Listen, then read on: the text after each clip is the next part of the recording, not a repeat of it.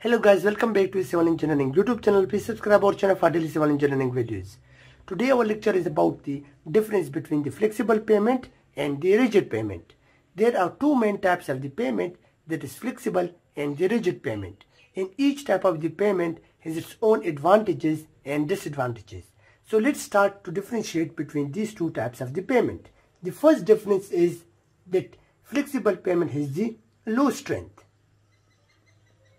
it is always have lower strength in comparison to that of the rigid pavement while the rigid pavement always have the higher strength or we can say it is the higher strength in comparison to that of the flexible pavement.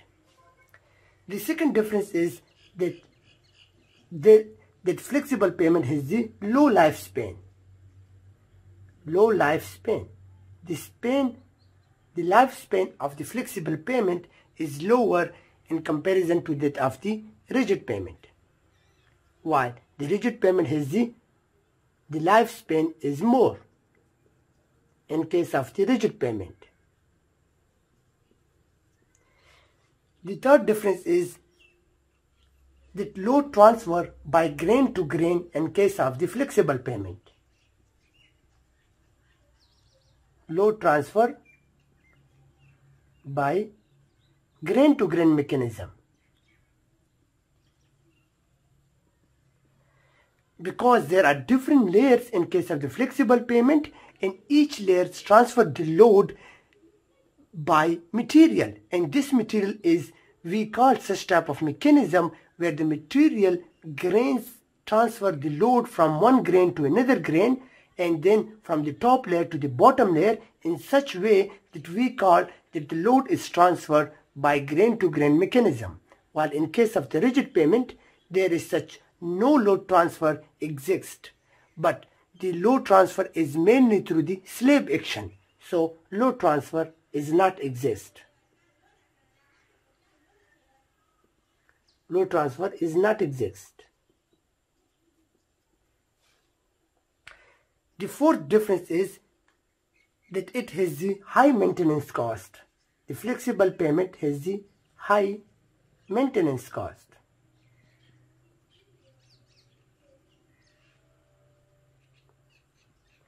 While the rigid pavement has the low maintenance cost.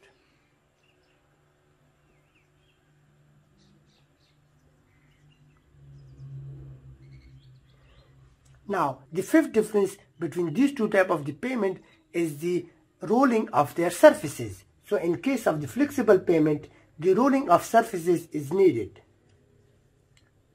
Rolling of surfaces or we can say the rolling of surface is needed. While in case of the rigid pavement, since it is made of the concrete, so the rolling of the surface is not needed. Surface is not needed. Because it is it is the rigid material which is the concrete so we don't need to provide the rolling for this type of the pavement the fifth difference is the that flexible pavement can be damaged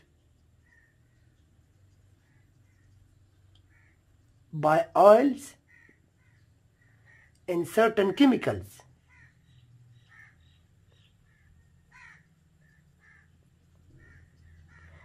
So this type of pavement can be vulnerable to the oils in certain chemicals and can be damaged while there is no damage by the oils in the certain type of the chemicals.